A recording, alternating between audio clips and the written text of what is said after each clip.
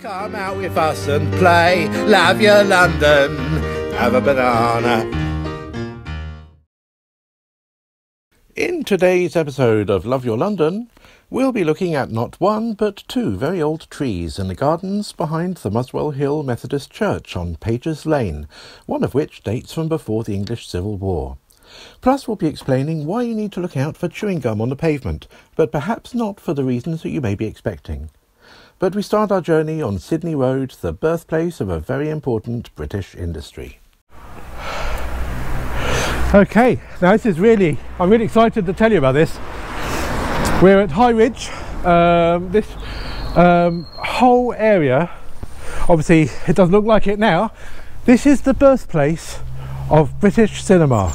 In 1895, a young 25 year old movie pioneer by the name of Robert Paul uh, teamed up with photographic expert Birt Acres to create Britain's first ever movie camera, suitably called the Paul-Acres camera.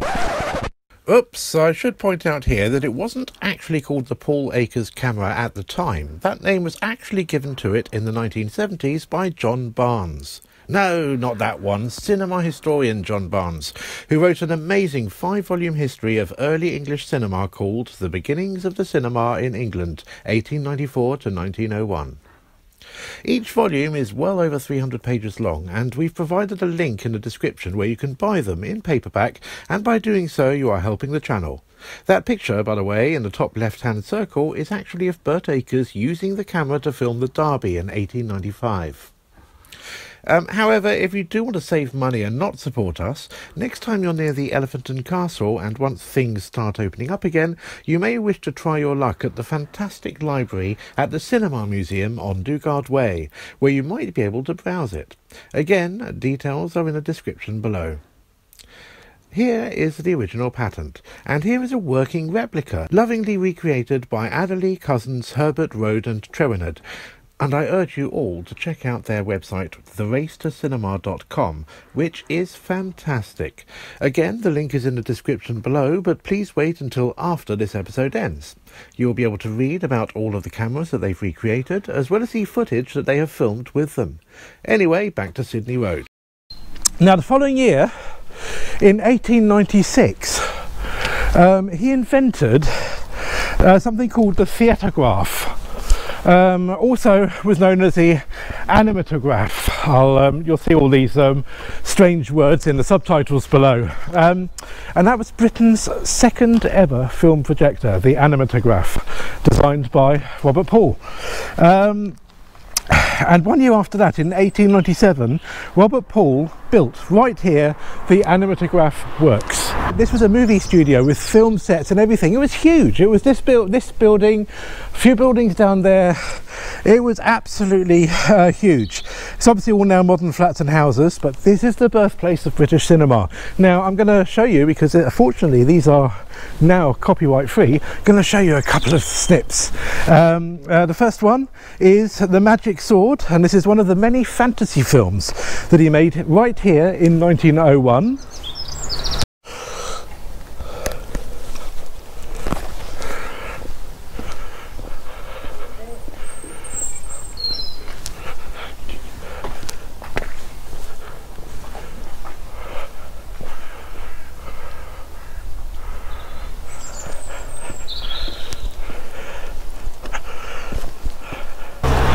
And this little one here, this is a little, a very interesting, quirky one. This is called the over an over incubated baby.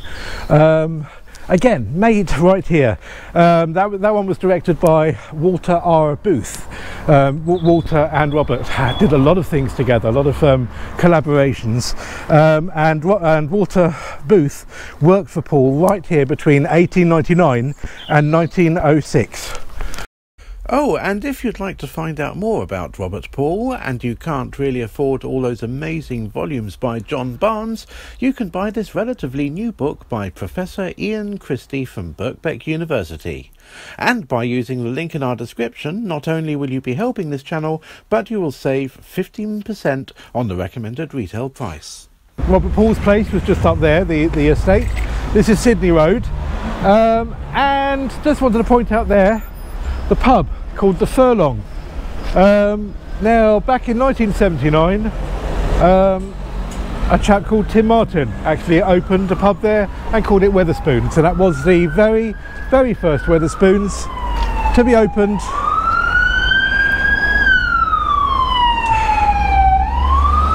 That that was the very first Weatherspoons to ever be opened. It was just called Weatherspoons back then. There you go. Now called the Furlong. And we're now going to just pop up there. This is Colney Hatch Lane. We're now going to pop up there because there's a little shop just over there I want to show you, uh, which is where Robert Paul used to live. Uh, this here is Muswell Hill International Food Centre, and this is where Robert Paul used to live. Robert Paul, the father of British cinema, used to live right here, Muswell Hill International Food Centre. Obviously, that wasn't what it was then, it was a residential house. But the main reason I brought to you here is not to look at the food centre, but to check out Sezer's Barber. Now, closed at the moment because unfortunately, unlike um, unlike garden centres, barbers and, hair- and hairdressers in the UK are not considered essential services. This barber's didn't used to be called Sezer's, used to be called Snips, and this is where Suggs from Madness used to have his hair done. Um, and in fact, there used to be in here. It's it's gone now because I assume I assume because it's now under new ownership, they've taken it down. But um, there there used to be a picture of Suggs in there with his hair done, and people could say, "I'll have a Suggs, please." Uh, that's when it was called Snips. This is the Muswell Hill Methodist Church, and um, we're here to see their amazing garden um, and their amazing trees. Their amazing trees, and we're here with Kate. Yeah. Uh, you, must you will remember Kate from previous episodes. Um, uh, as you know, she lives locally, and she's also been helping with uh, with the episodes as well. Kate is also one of our patrons via Patreon. If you would like to support us financially, there's details below. However, the best way you can support us for free is by sharing this video on your social media, by hitting that like button and, if you haven't done so already, hitting subscribe and clicking on that notification bell. It costs you nothing and means the world to us. This is a lovely garden. So this garden is open to the public. Um, so the, the gardens belong to the North Bank Estate, which belongs to the Methodist Church nationally. Yep. Um, it isn't a public right of way, but they're lovely gardens to be able to share. So during normal times, when we're not in lockdown and things, um, then the gates are open at both ends, and on weekdays from uh, about 9.30 to 4 o'clock, then uh, the gardens are open for people to come in. Yeah. Okay. We're hoping that church services will start again by Easter. At By the Easter. moment, everything's online. But, but we do coffee and chat on Zooms afterwards uh, for about an hour. So, Brilliant. um, Okay. Yeah. So the uh, the gardens, uh, which of course uh, the old house here um, dates back to about 1850, and um, it was bought in 1924 when the last resident of the house, uh, Samuel Cooke, died Right. and there was a distinct possibility that the whole estate would be sold for development and we'd have had a very nice road up through the middle of it and things. It was nothing to do with the church at Right, that yeah. point uh, because the old Victorian church was on the other side of Colney Hatch Lane. Mhm. But there was a, a wealthy philanthropic member of the church called Guy Chester who lived in one of the big houses on Colney Hatch Lane that backs onto here. Yep. and he worked in quite a lot with the family who lived here. And he saw the potential of the place for church and community. So um, he made an offer to the to the family and he bought the house and the whole estate. Oh, That's Um, great. uh, so that was back in 1924 and then the new church was built there in 1985 adjoining the the, the old house so this is now our church hall on, on the website um, if, if you go under my history Yep. you'll see some fantastic historic videos that Guy Chester took because he was very Oh. keen on that Am I allowed to Oh, put yes, them in the yes, film? Just on, on the website, and it's uh, under my history. And I they're can all, put that on our- on YouTube now, and Okay. you can see people in from about the early 1930s onwards, wandering, children playing in the great. garden. And you don't mind if I copy some of that and put that in our in our video, a little bit Uh, of it? no, that's fine because it's there publicly available. And it's probably well Yeah. well past copyright anyway. Thank you. Yeah, yes. it- And a veritable treasure trove of archive footage it is. From 1936 to 1972, we have decades of these videos. Links to the four best ones are in the history section of the church's website, as Jill said. Um, and you'll be able to see these in the description below. However, we also provide you with a link to the entire playlist on YouTube. So you've got a good three hours worth of this stuff if you want to see it. Uh, but please, please don't look now. Just wait till it is over because we still have to show you two amazing old trees. Plus, we want to tell you something fascinating about why these miniature paintings on chewing gum are being discovered all over Muswell Hill. So don't go away yet. Come on, let's go back to the garden. Best foxes get together here at night. And Yeah. in the daytime, Kate. Yeah. Sometimes I've been there looking at uh, with a toddler group and playing my guitar and singing songs with them, and we look out of the windows, and there are a couple of foxes just sunbathing here. Yeah. Yeah, we don't have the through traffic. It's not too no, no. Yeah. Boy, we have a, an allotment behind us, and they are out all the time, and they make a quite a frightening noises. Yeah. yeah. Like something being strangled. I mean, there's a huge fox colony who live here. Yeah, it's And they're a allowed to. It's natural woodland. There's lots of things to Yeah. eat. Yeah. So that's the mulberry tree. Mulberry, Ah, this is it. So this is 150 years old. This one. Um, But I'm- I- gnarled. this is Morus which is the um, so because the, the church's boundary is along here, so it's Yeah. technically just the other side of it. well, The is always about the last one to come into leaf.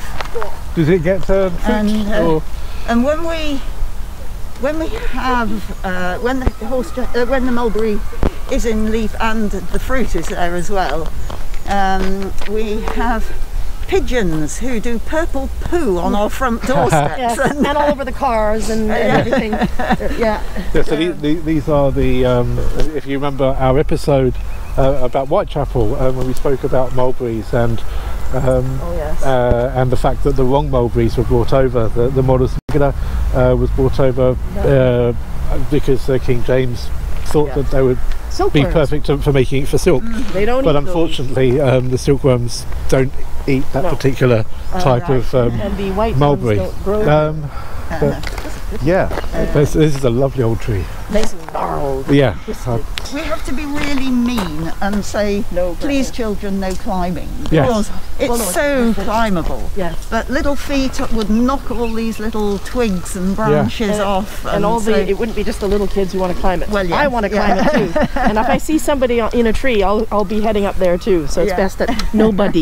yeah. These are these are holm oak, That's a, that's like the Spanish Yeah. encinas. there it is. Enfina, the other name. Sure, with the little uh, prickly leaves. Yeah. That's an old one. I can see why the, the kids would want to. I, I want to climb it. Oh. Yes. Yeah, it's a survivor, all right. And look, all the solar solar power Yes. up there on the roof. On a roof like that. That, that. Is that a big old oak tree there, all twisted? That certainly is, yeah. we can't go in there, but. Yeah. I do like this garden. Yeah. Well, and it's it's very wide and open. lawn, is this is that lawn tennis? I mean, it's called Muswell Hill Methodist uh, Tennis Club, but it's um, it's not directly associated with the church Yeah. at all, but it's part of the estate. And then just beyond that, there's a block of sheltered There. flats called the Paddock, Yep. and beyond that, there's a Something. residential home called the Meadow, To do. and uh, they're both run by Methodist homes. So it's, it's That's a, great. a huge sort of complex altogether. They disappear down the Beautiful, isn't it? Really nice.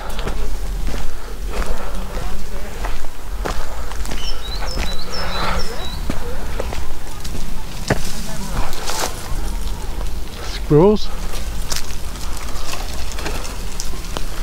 I think I can see it.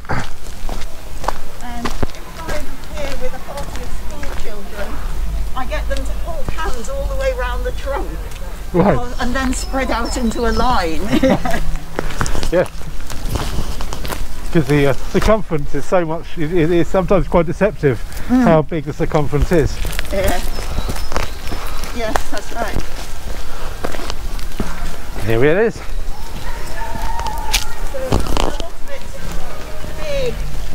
branches have had to be locked, you know, they'd, they'd be through the, yeah. the windows yeah. over there. Trimmed it right back because that, that tree is yes, I mean you can imagine how good heavens. how the sort of cantilever effect of Oh. branches. And you don't want it falling on you. No. So it's four, four, 450 years. Well, it's actually what's that? It's 416. Since about 1650. Yeah, get some scale here. I'm, I'm from Vancouver, so we're, I'm used to big trees. this is more our size. Give it an idea of that's Yeah. a listed tree for sure. Oh yeah. You know, It should have I don't know a. how much time it's got left. Yeah, it should have the little thing here. There we- is that it? Yeah, there's a tag. Yeah, there it is. That's a number. Yes. That's listed, listed tree. By the time it's last, I mean, should the be tree experts come and examine it regularly, and everything is being done to give it as long a life as possible. Yeah. But Well, it's, it's it's not just this one. It's you know, it's it's, it's and they have a lifespan. Frankly, I mean, the plane trees. You know, there's some of them are that old, but it's hard to know because the hybridizing of them. And it, but this is, you can see it starting to. I think this was one of the, you know, it would have been among one of the early chestnuts Because that's because they were only brought over to this country around about the mid 1600s. That's that, they're the non-edible ones, not the sativa that the Romans brought. Then we had one lovely moment in a, Beautiful. a sort of retreat, quiet day sort of thing that was for people from all the churches. And we had to stop and think and ponder in different places. And uh, we were standing around a group of us here, and we were being asked just to stop and think and consider what thoughts came into our minds. And uh, you know, some people were thinking worthy thoughts about root structures and all sorts of metaphors with that. Um, and I happen to have at the side of me Sister Anne Marie, who is a dear friend who's a Catholic sister. And I said to her, I'm just thinking, Anne Marie, that when this thing was planted, we'd have been murdering each other. you know, Yeah. And how lovely it is. Yes, now course, here we are, you know, People have been great friends hanging and meditating together. You'd, you'd be swung from a tree for stealing a loaf of bread. yes, So it wasn't. It was an ugly Yeah. time. But you definitely wouldn't have had Catholics and Protestants standing No. next to No. each other, having No. a nice little retreat, quiet day. No. assistant is from North Ireland. Oh yeah. My assistant is from North Ireland. Uh, she is. Yes, the sister, Sister Anne Marie. You're quite right. She is. Fr- well, no, uh, she's. I think she's from. That's not what I meant. Ah, No, sorry. her Right. assistant. Her assistant. Sorry. Assistant. Oh, assistant. Your. I have a question. Yeah. Yes, Kate. Okay. What is the M E T H Methodist? Well, now it is very much like all the other churches in the Church of England and uh, other other sorts of churches that are around. It started in the Church of England, um, but uh, over 300 years ago. But it didn't want to break away. It's just that John Wesley, who was uh, a priest in the Church of England, he wanted to start preaching to people who never went to church. So he started preaching out of doors and working people and, and helping them to be educated as well as to learn about the Christian faith. And um, so little groups of Christians started uh, forming and he wanted them to be able to be proper churches themselves and uh, but that didn't work with how the Church of England was at that time. It would work fine with how it is now. oh.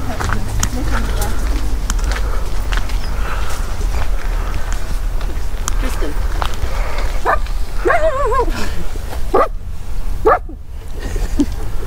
They look like little mouths. Yeah.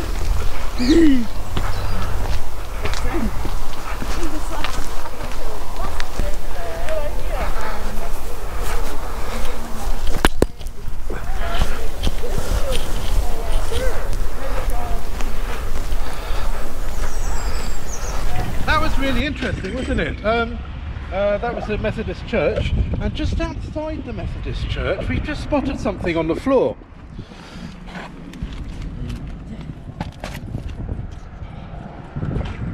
Now look at this.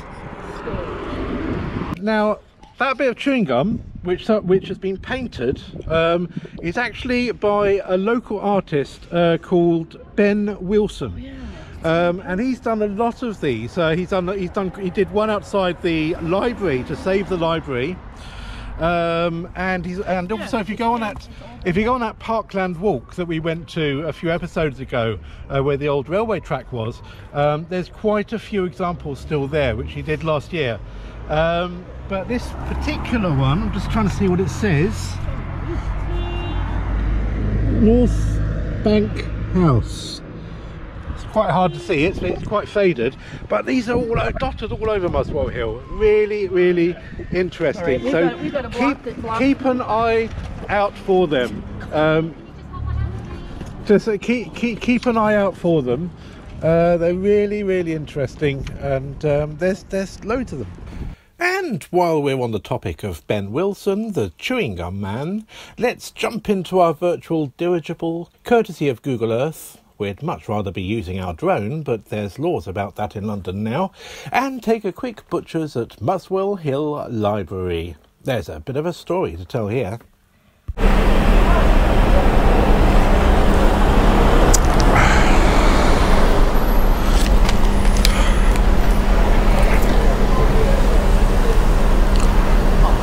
Okay.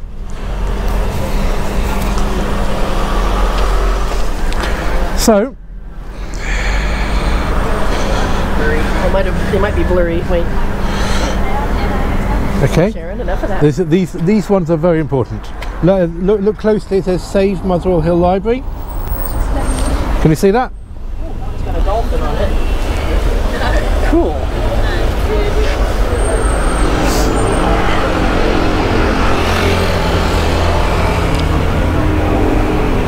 We are outside the Muswell Hill Public Library, um, built in 1931. Um, this library is absolutely stunning. Um, grade 2 listed. It almost closed down in 2016 by Haringey Council. Uh, but a very successful campaign was organised and it remains in public use as a library.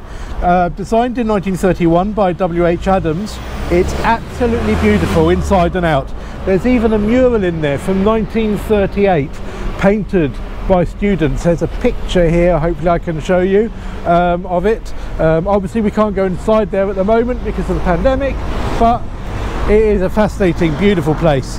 Um, and the mural actually tells the whole story about King Malcolm being cured or being by the curative waters of the Mossy Well.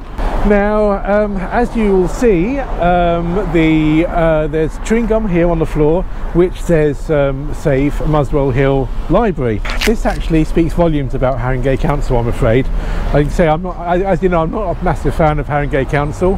Um, you'll have sussed that from our episodes on Alexandra Palace and that massive debt that they amassed and they wanted the uh, trust to pay. Um, now, um, Haringey Council tried to sue Ben Wilson for painting on the pavement. Oh, come on. Seriously? Um, now, he won the case because he said that he wasn't painting on the pavement, he was painting on chewing gum that was stuck to the pavement, um, and he won. Um, but it really is unbelievable that Haringey Council could have been so petty in the first place. I mean, this is the local library, this was a massive campaign it's like they don't really care if they, I mean they if they're going to win the elections or not. I mean, I mean this this was this was such a um, a scandal at the time. To be honest, I mean this was only um, six four, was it four years ago.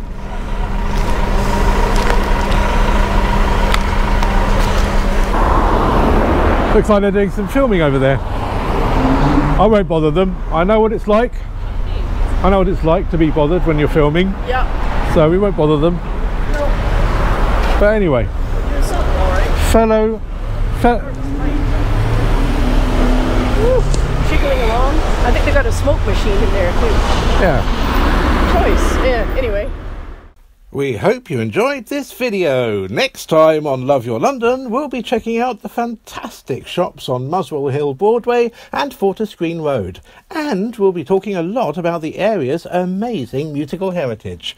Oh, is that Gong album? Yeah, it is. Whoa! Like us and subscribe to us. Till next time. From Acton Town to Wimbledon, from Brixton to beyond. Love your London. Have a banana.